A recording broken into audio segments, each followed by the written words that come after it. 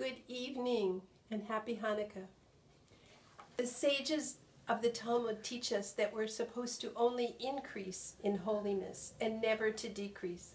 And that's why we light an extra candle each night during Hanukkah. Because as we light another, Hanuk- another candle, we increase in light and in holiness, in positive energy that we bring into our lives and into the universe.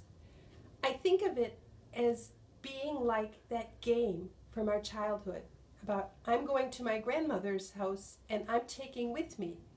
And we add our new item, but we also name each of the items of every person before us so that our list gets longer and longer.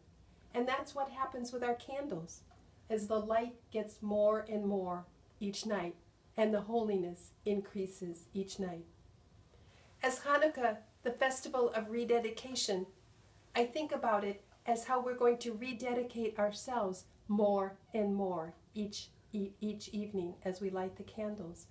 And so that's what I'm inviting you to do to think about what are the things that you would want to do to bring more holiness and more positive energy and more goodness into your lives and, the, and into the universe each night of Hanukkah and continuing on through the year. What, to what do you want to rededicate yourselves?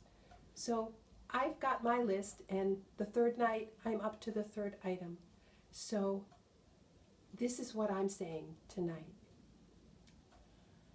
Eloheinu velohe avotenu, our God and God of our fathers, I ask you to be with me and to give me strength as I rededicate myself to eating more local and organic food, to writing more to my representatives in my local papers about issues of climate change and social justice, and about making sure that my finances match my beliefs and my values.